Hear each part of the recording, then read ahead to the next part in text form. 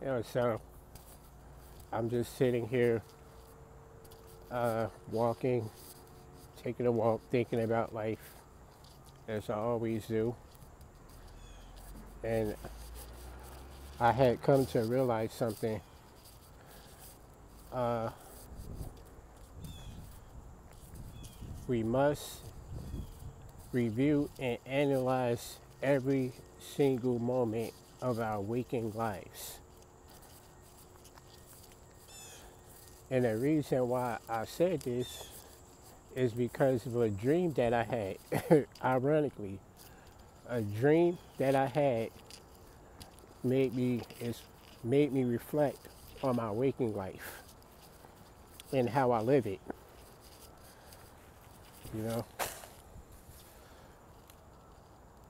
how I how you live your everyday life is very important to analyze and review. Uh, you know, especially if you're more of the impulsive type, you just kind of do whatever it is that you're thinking at the spur of the moment.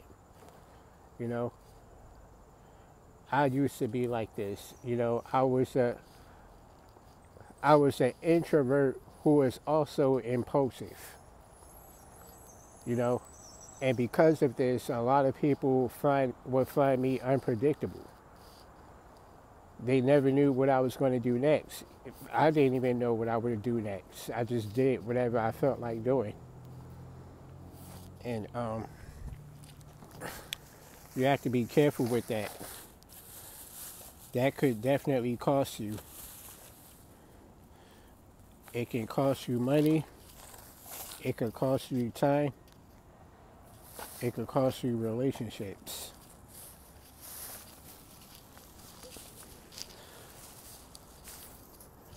Sorry, I had dropped my bag. So, uh, yeah, the dream. I had a dream one time. This is a very old dream. I didn't have this dream recently. I had this dream uh, some years ago, about four or five years ago. Uh, in the dream, uh, I was married. I had a wife and we had a newborn kid. We had a baby girl.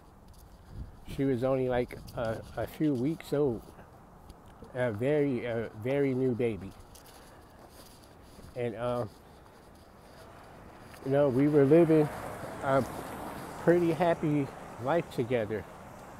You know, we had we had a, a two bedroom apartment, and um, my mother-in-law her mom lived in this apartment with us, you know. And uh, we were getting ready for like a Christmas party. Um, I, I think it was like a, a family gathering at someone else's house. And um, we were all getting, you know, dressed and getting ready to leave and go to this party. But you know, my wife's mom, she's kind of old and slow moving, so we were mostly we were waiting for her. You know, she was still in her room getting ready. So I looked at I looked over at my wife and I told her I said I'm going to go to the restroom. You know, um, I'm going to freshen up uh, while we're still waiting. Right. Uh, now, uh, this is where things gets a little bit complicated and weird. But I'm going to explain this the best way I can. Um, and hopefully in a way that you will understand what I'm talking about. When I walked into the restroom, most people have mirrors in their bathrooms, right? When I walked into the bathroom, I looked over to the left at the mirror because the mirror was off to my left as, as soon as you walk into the bathroom. I looked at the mirror and I noticed that my face was different. I was a different person. It was a guy who looked like me, but it wasn't me. You know what I mean? Like he, he looked similar to me, but it wasn't me. Like for example, like the I have a mole right here. But in this dream that I had, uh, the mole was completely gone. And my hair was much shorter. Um, you know, there were a few other differences too. He didn't look too different from me, but I could tell this wasn't my face. But every, and right at that moment, right at that very moment, I started having flashbacks of my real life. I started having memories of my real life. Because keep in mind, in this dream, where I was married to this woman, I actually had memories with her. I could remember things that I experienced with her. So I started wondering uh, what was real and what wasn't, man. I'm telling you, this was a really bizarre dream, yo. I started wondering what was real and what wasn't. Because I could remember my life that I had with my wife I even remember how long we had been together. But I could remember my real life too. I started having memories when I looked in the mirror. You know, I knew that wasn't me, but at the same time, I thought it was me. And I was I was like really perplexed. I had washed my hands and I stepped back out of the bathroom. I looked at my wife. I said, "Are you ready to go?" She was like, "Yeah." Um, her mom, her mom finally came out of the back room. Uh, we all walked out the front door. We were getting ready to go to that party, and right at that moment, I woke up. I woke up from the dream. Now,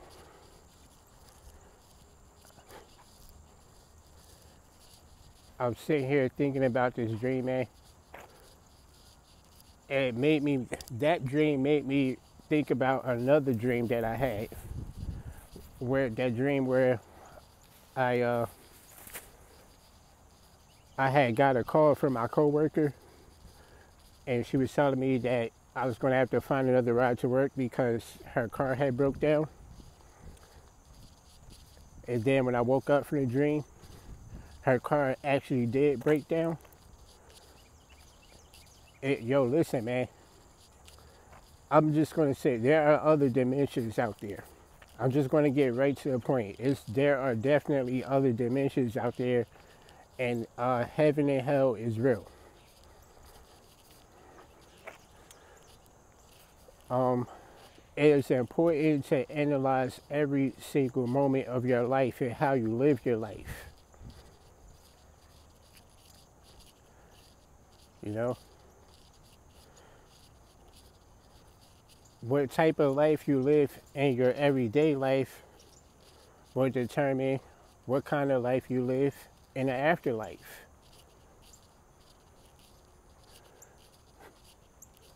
I mean, in other words, you know, if you if you're an awful person and you've done a lot of shitty things to people, excuse my language, when you cross over to the afterlife, you either end up in one of the nine circles of hell or you experience your own personal hell. You know? And same thing with heaven. You either you either go to one of the three heavens or You have your own personal heaven. You know? Your own personal heaven might be similar to like a parallel dimension. Who knows, man? But I don't think me having that dream was just a coincidence. I think it had a level of significance to it. Because everything about that life that I was living, I actually believed I was living it, man. I actually believed that I was that person. You know, I started seeing flashbacks of my real life, but I wasn't really, it was more, it was just like, I don't know how to explain it. I was having flashbacks of my real life, but it didn't, it just seemed like, it just seemed like something weird was happening. So I was just seeing weird images. To me, it was just weird images in my head.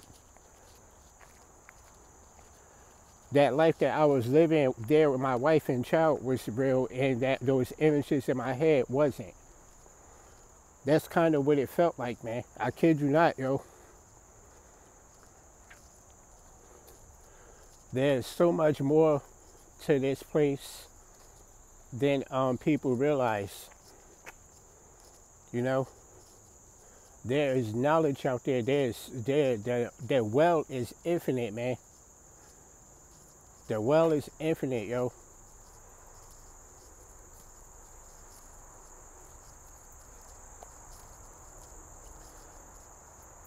Like I always tell people, they uh they have a they have a habit of putting the truth into fiction, man. Like I already told you guys before, Eve was the, the first person to dive into the rabbit hole. Okay? That was that was the greatest sin that she broke a sacred law. She had access to forbidden knowledge. This is Japanese anime that came out in like in like the 90s, like the late 90s. It's called Inuyasha. The main character, right, of this, her name is Kagome. She jumped, there was like a well in her garden. I keep in mind, like, listen, bro, these people know what they're doing. There was a well um, in the garden of her house. You know, she uh, she went back into the garden and she sat. I can't remember correctly. I think she sat down on a well or something like that. I haven't watched it in so long. She sat down on a well and she somehow fell inside of the well. Okay? And when she fell into the well, she ended up in another dimension. And the dimension was filled with demons.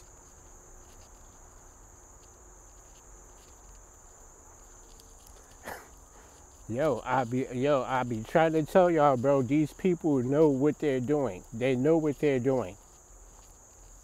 And guess what? She met one demon. She met one particular demon that she fell in love with and she got married to him. This was basically Satan. The same thing that happened to Lilith. You know? Because you got. Yo, listen, man. Uh, there are some people who think that Eve and Lilith are two different people. No, Eve is Lilith. They're the same person. Uh,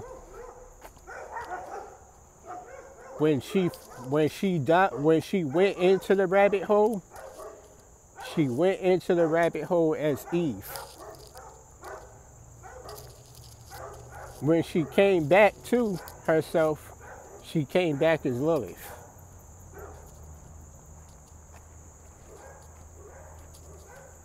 Like I said, this is what happens when people tamper with the scriptures. They give out a lot of misinformation on purpose. They leave things out. I mean, they, they even lie. Uh, they don't want you to know yourself. You can only have access to forbidden knowledge right now. But the only way you'll have access to forbidden knowledge is if you if you serve Lucifer. These people are not going to teach you these things readily, man. If you if you've been gifted the gift of sight by the Most High God, then you're going to know these things without anyone telling you and you will have a lot of enemy. People will be trying to seek you out and find you.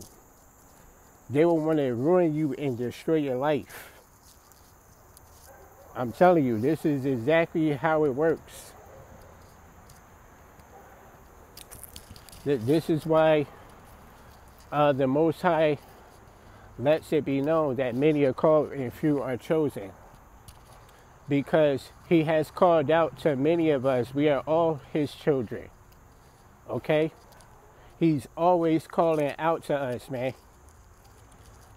Uh, but unfortunately, uh, many of us have love of the world. We have, we desire the flesh. We, uh, we desire the flesh more than the afterlife. Um, we've been told that the afterlife doesn't exist. You know, like I said, uh, misinformation, being misled by demonic presences.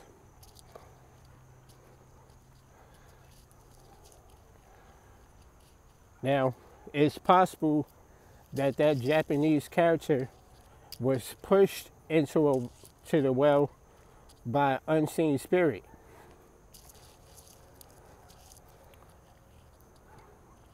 Because basically, this is what happened to Eve.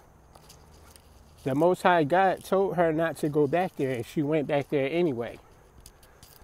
And she saw that rabbit hole, and she either climbed in on her own or she was pushed in. Either way, either way, it doesn't matter she came back a, a different person. The Most High God did not recognize her anymore.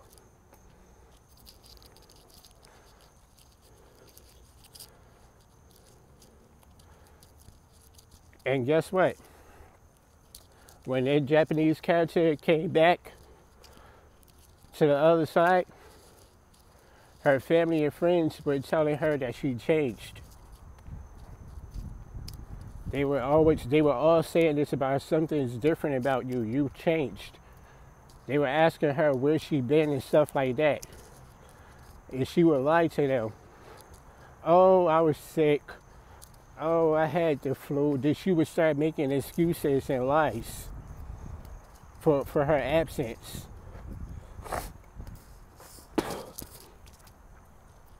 But she was actually a priestess of hell. She was a hell priestess. Now, they didn't actually call her that in the Japanese anime, obviously, but that's what she was.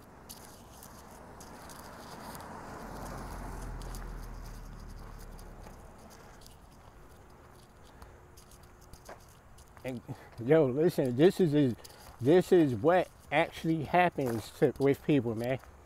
When these people are delving into witchcraft you know what I'm saying? When you start asking them questions about why they acting so weird and things like that, what do they do? They lie to you. They make excuses. They're not going to tell you the truth, obviously, right?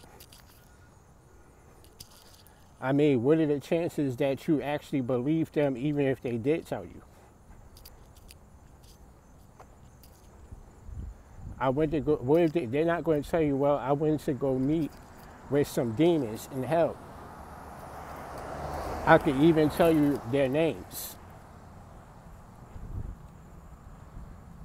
If you say something like that to the average person, they're going to think you belong in a loony bin.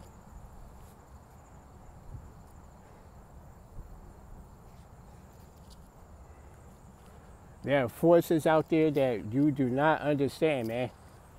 This is why you have to be careful how you play with people, man. You know, you don't want to just be disrespecting people for for little to no reason or because you think they don't have nothing or they don't have nothing going on in their life that you could just laugh at them, yo. You could be laughing at the wrong person, man. There are things out there you don't understand, man. You know what I mean? If if this person is a soldier in a Most High's kingdom like I am, there are things that I know that you definitely don't want to play with. You don't want to mess around with me, yo. Like I said before, like there are angels that will protect me. I've met Metatron before. But a lot of people don't know who that is like I said before, that's the thing. People think that these things are not real, bro. And I'm telling you it is.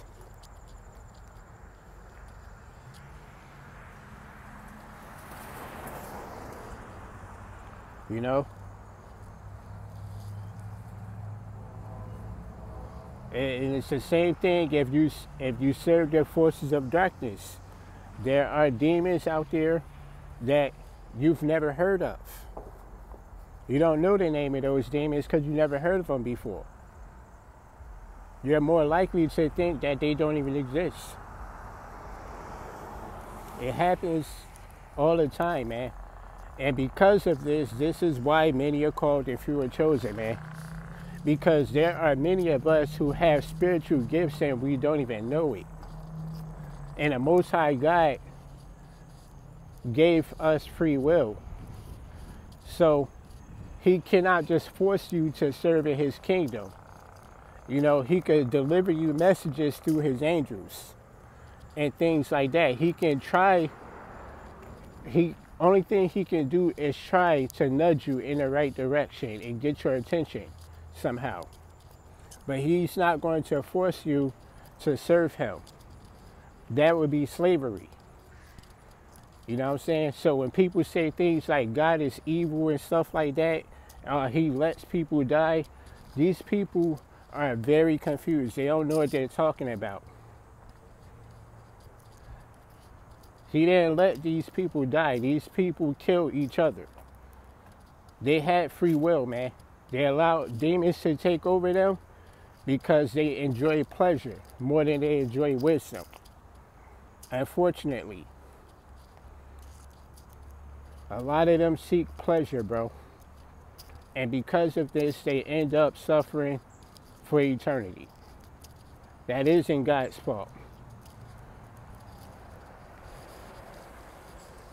This is why he, he even tells you, My people perish from a lack of knowledge. You know? He taught you the right, he taught you how to be a conductive person, man without feeding you a bunch of forbidden knowledge, without teaching you the dark arts. You don't need those things, man. So, as I've already stated, man, uh, you have free will. You have the freedom to choose, man.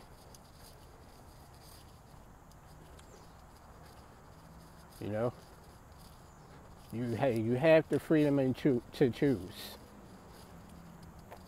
Only a few are chosen because only a few chose the right path. Unfortunately. Unfortunately. So, you have some reflecting to do. Think about each moment of your life and how you live it. Facebook is not the news. It's not the daily news. It's not the daily newspaper. Instagram is not the daily newspaper. How do you you make the news yourself about your life? How do you want to be reported in the book of life? How do you want your story recorded, man? You have to really think about that, man. This is why it's important to analyze each moment of your life.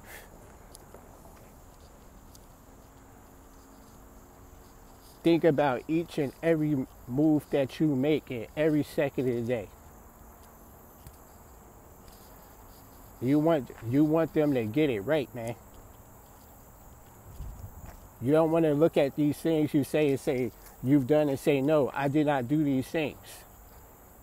And most guys gonna show you, oh look, I've got it right here. Yeah, that was you, bro. Nobody's lying on you. This is what you recorded. You cannot even say that I'm lying on you. This is recorded by you. You understand what I'm saying?